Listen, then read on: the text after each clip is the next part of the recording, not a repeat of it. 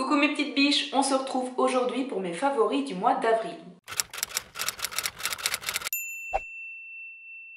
Ce n'est pas une vidéo que j'ai l'habitude de faire parce que depuis toujours, j'associe les favoris au maquillage. Je pense que c'est parce qu'à la base, je regardais beaucoup de youtubeuses exclusivement beauté et qu'elles présentaient exclusivement ce genre de produits.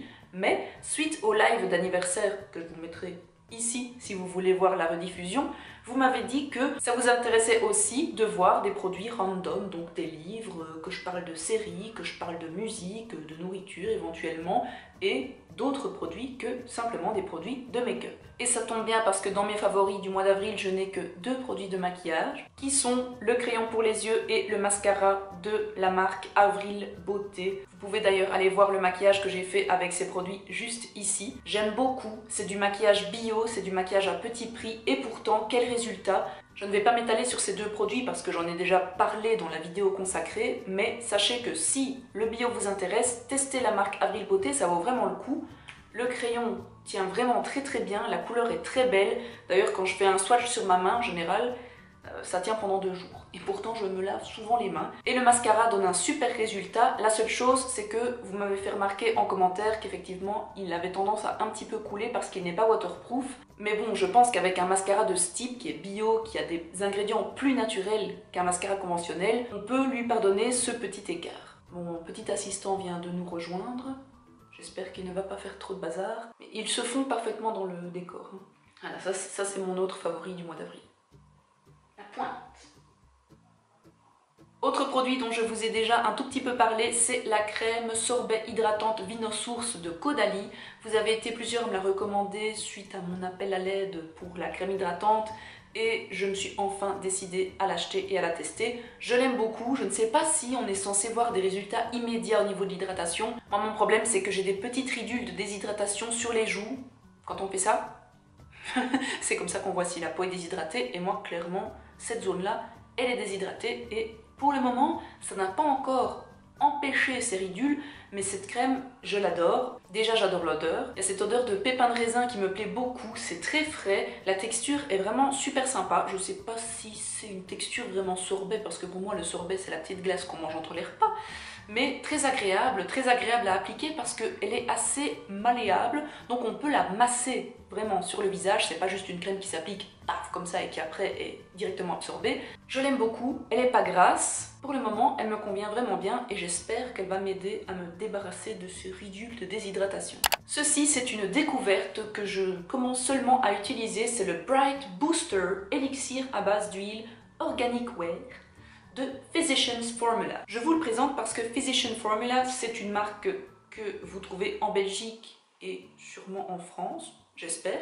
Dites-moi si je me trompe. Et en fait, euh, ça m'a intriguée. J'ai vu dans une vidéo que Physicians Formula avait une base à l'eau de coco ou quelque chose comme ça et à l'huile d'argan. Je me suis dit, hmm, je vais aller voir. Et en fait, au final, je suis repartie avec celui-là parce que là, c'était un, un élixir qui soi-disant donne de l'éclat. Dans la composition qui, ma foi, est très très bonne, ce qui n'est pas toujours le cas dans cette marque, faites attention, on retrouve surtout des huiles, et d'ailleurs c'est dit élixir à base d'huile. Donc je ne sais pas trop en quoi ça pourrait être un élixir qui donne de l'éclat, mais je pense que je vais commencer à l'utiliser un peu plus régulièrement. Comme vous le savez, j'aime pas ouvrir 36 000 produits en même temps, donc j'essaye d'abord de terminer, mais j'ai bientôt fini mon huile du soir, donc je pense que je vais passer à celle-là. Et si vous l'essayez, si vous la trouvez par chez vous, dites-le moi parce que j'aimerais bien avoir un retour, ça m'intéresse. Ça mes petites biches, c'est le favori que j'espérais vous présenter depuis des mois, des mois et des mois. C'est un parfum que j'ai découvert grâce à Patricia B, qui est une youtubeuse américaine qui vit en France. Elle en avait parlé dans une vidéo et depuis, j'avais envie d'avoir ce parfum. En fait, c'est la version américaine de la petite robe noire de Guerlain qui normalement a un flacon rose. Ici, c'est la version bleue qui est, je pense, la version intense et qui a apparemment été conçue pour les femmes américaines parce qu'elles auraient des goûts un peu plus intenses et un peu plus sucrés en matière de parfum que les femmes françaises. Impossible de trouver ce parfum même ici. Dans les Sephora, dans les parfumeries, je ne l'ai jamais trouvé. Au final, je l'ai reçu pour mon anniversaire de la part de ma petite maman qui l'a trouvé sur Amazon. Donc hyper contente, c'est un parfum effectivement assez fort. Je ne sais absolument pas vous décrire les notes et les senteurs parce que je suis nulle là-dedans, mais je l'adore. D'ailleurs, euh, j'ai déjà fait un petit peu des centres, j'en mets tous les jours et à mon avis un petit peu trop, hein, mais j'adore ce parfum. Et surtout c'est un parfum qui reste sur moi et un parfum qui reste sur les vêtements parce que je ne compte pas le nombre de parfums que j'aime beaucoup mais qui ne restent absolument pas. Et c'est quand même un des petits plaisirs quand on aime bien un parfum de pouvoir se sentir pendant la journée ou que les gens nous disent « Oh, tu sens bon !»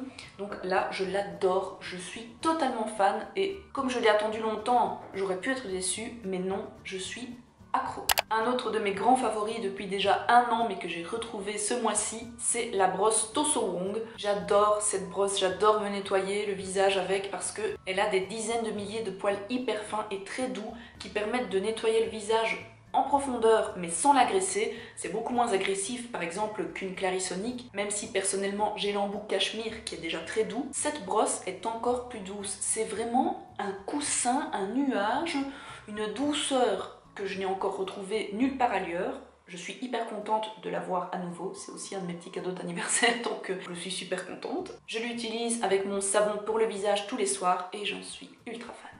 Dernier produit cosmétique de cette sélection de favoris, c'est un gommage de chez Bath Body Works. C'est le deuxième gommage que j'achète chez eux. Le premier c'était un gommage à gros grains, un peu comme si c'était du gros sel que j'ai beaucoup aimé. Et ici c'est un gommage avec des grains beaucoup plus fins et des petites billes exfoliantes vertes parce que c'est un gommage au concombre mais aussi au beurre de karité. Et la particularité c'est qu'il mousse donc ça fait comme une espèce de gel douche slash gommage Attention, je ne me lave pas l'entièreté du corps avec, si vous voyez ce que je veux dire. Mais il est vraiment très très bien. Je l'ai commencé hier, donc c'est plus une découverte qu'un favori pour le moment, mais j'ai beaucoup aimé l'odeur de concombre. Je suis assez fan de cette odeur dans les cosmétiques. Et ici, c'est une odeur très fraîche, pas du tout euh, prenante, qui va pas être écœurante. Et le gommage m'a l'air de fonctionner plutôt pas mal, donc ça m'a l'air d'un très bon produit. Quand je vous dis que j'aime le concombre, c'est pas une blague, parce que je me suis acheté un gel antibactérien, toujours de Bath Body Works, au concombre et au melon. Et ça, même si je l'ai seulement acheté hier, c'est déjà un favori. Ce truc a une odeur absolument envoûtante, c'est un mélange très très bien réussi entre le concombre et le melon, qui sont pourtant des odeurs très fortes. Là, la combinaison est vraiment très bien faite. Comme bien souvent dans les gels hydroalcooliques de Bath Body Works, il y a des petites billes exfoliantes, ce qui rend l'utilisation encore plus agréable. Et pour aller avec pour l'été, je me suis acheté cette petite... Euh, coque. C'est pour accrocher au sac aux clés. C'est un modèle marinière avec un nœud doré et l'accroche est dorée aussi. Je me suis dit que pour l'été, ce serait Et on passe au favori un peu plus random avec cette bouteille qui est en silicone souple. En fait, c'est pour pouvoir la rouler. Je vous mettrai une image juste ici parce qu'il y a de l'eau dedans donc je ne peux pas le faire. C'est pour pouvoir la ranger plus facilement quand on n'a pas beaucoup de place dans un sac. En plus, comme elle est souple, on peut même la compresser comme ça, hein, je vais dire. Si vous n'avez pas votre bouteille remplie d'eau, vous pouvez enlever l'air. Hein. vous voyez, ça prend beaucoup moins de place. J'avais envie de m'acheter une bouteille euh, pour pouvoir aller courir, mais aussi quand je vais me promener ou simplement pour rester à la maison parce qu'avoir une bouteille comme ça, ça me donne envie de boire plus que dans mes petits verres. Je la trouve super jolie, elle existe en plein de couleurs. Il y a un modèle plus petit et il y a ce modèle là qui fait 650 ml. Le bouchon est sympa aussi parce que c'est un bouchon qui se twiste en fait, c'est pas un truc qui se clipse donc vraiment zéro possibilité que ça coule et en plus ça passe au lave-vaisselle, donc vraiment très très bien et ça coûtait pas très très cher. Et la hanse, c'est très pratique aussi pour l'emporter partout avec. Pour mon anniversaire, j'ai reçu ce très beau livre qui s'appelle The Oh She Glows Cookbook. C'est un livre de recettes de cuisine vegan. Je ne suis pas vegan, mais je mange de plus en plus végétal, donc je pense qu'un jour je vais y arriver, si j'arrive à abandonner le fromage. Mais j'aime beaucoup la nourriture vegan et j'aime beaucoup le fait qu'on puisse adapter plein de recettes et qu'on puisse montrer aux omnivores que oui, il y a moyen de manger vegan sans manger uniquement de la salade et des cailloux. Déjà rien que quand on est végétarien, si vous, vous l'êtes aussi, vous savez qu'on est confronté à ce genre de discours. Mais qu'est-ce que tu manges enfin si tu ne manges pas de viande? Et avec ce livre, c'est vraiment super parce qu'on a plein d'inspiration. On a évidemment les traditionnels jus, les smoothies, mais aussi des soupes, des salades, plein plein plein d'inspiration de bonnes recettes avec des adaptations. Il y a 300 pages pour ce livre, donc il est très très bien fourni. C'est bien expliqué, les photos sont très belles. Il y a des snacks, des desserts, des entrées, il y a tout en fait. Des salades, des soupes, des burgers. Vraiment, c'est hyper complet. Au début, l'auteur nous présente même une liste de ses indispensables pour la cuisine. Donc toutes les graines, toutes les les farines, les légumes, les fruits, même les ustensiles qu'on peut se procurer pour que notre cuisine soit au top. À la base, Angela Lydon, l'auteur de ce livre, est blogueuse et maintenant elle a sorti ce livre. Je l'adore, je trouve que c'est une très belle inspiration. Et j'ai regardé, vous pouvez le trouver sur amazon.fr. En anglais par contre, je ne sais pas s'il a été traduit en français. Donc si ce genre de livre vous intéresse, surtout n'hésitez pas, je pense que c'est une très bonne acquisition à faire. Un de mes énormes favoris du mois, voire le plus gros favori du mois, c'est ceci, ma Fitbit Charge HR que j'ai reçue à mon petit mari pour mon anniversaire. Je l'adore, ça fait aussi partie des cadeaux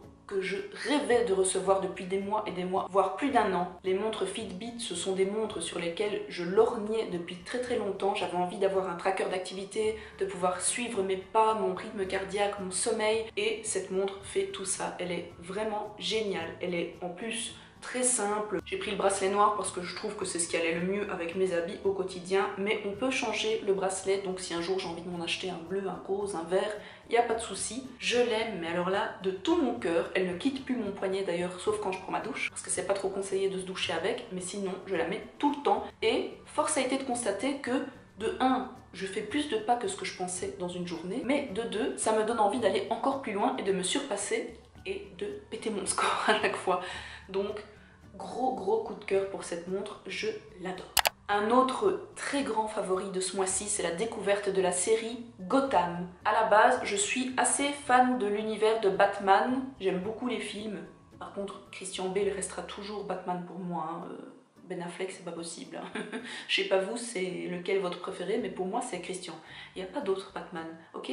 Sauf, sauf depuis que j'ai commencé Gotham. Parce que cette série, elle est quand même plutôt pas mal. Hein. Elle est bien faite, les acteurs sont super et ils ne sont pas désagréables à regarder, ce qui n'enlève rien. Et l'intrigue est quand même vraiment vraiment bien. Et alors les personnages vraiment sont super attachants. Mon personnage préféré c'est le pingouin.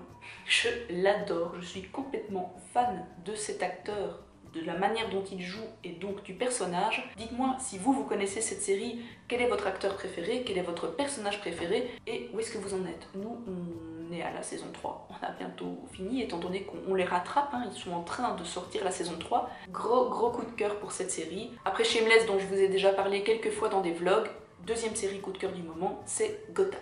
Et le dernier favori de cette sélection du mois d'avril, ce sont mes lumières que vous voyez depuis le début de la vidéo et que vous avez pu voir dans mon appartement tour. C'est un rideau de lumière que j'ai accroché au mur et je trouve que ça donne un petit côté sympa à la vidéo. Je ne sais pas ce que vous en pensez mais j'aime plutôt ce décor. Ça habille le mur, ça donne un côté chaleureux parce que ce sont des lumières jaunes, vous savez ce sont pas les lumières blanches donc ça donne vraiment un côté chaleureux à la pièce avec tout le reste qui est blanc ça donne plutôt pas mal elles viennent également d'Amazon et elles ne coûtent pas très cher et j'en suis super contente et voilà pour mes favoris du mois d'avril, mes petites biches. J'espère que ça vous a plu. Surtout dites-moi si on a des produits en commun ou s'il y a des produits que je vous ai présentés et que vous n'aimez pas du tout. Hein. ça peut arriver. Dites-moi également quels sont vos favoris du moment. En attendant la prochaine vidéo, vous pouvez me rejoindre sur les réseaux sociaux que je vous mets juste là. Vous pouvez également vous abonner à ma chaîne juste ici et cliquer sur une autre vidéo pour patienter. Je vous fais d'énormes bisous et je vous dis à très bientôt